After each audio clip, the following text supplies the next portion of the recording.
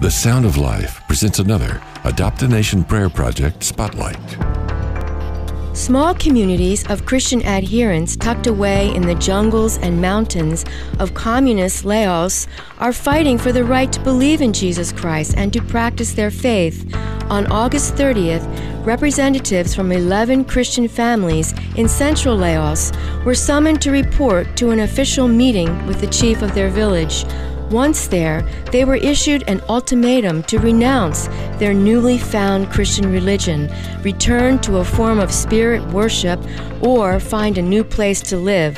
Despite being new believers, all 50 converts decided they would resist this pressure, ignore the threats, and continue to practice their faith. The Lao Constitution protects their right to practice their Christian faith.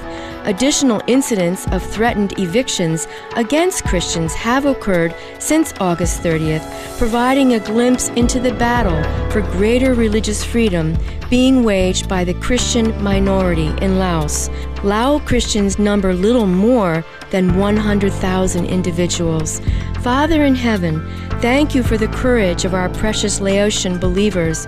Continue to embolden them to stand for religious freedom in Laos. Give them a harvest of souls for the kingdom of God. We pray in Jesus' name, amen. To learn more about Laotian Christians, visit persecution.org. Praying for persecuted believers, the Adopt a Nation Prayer Project, and the Sound of Life.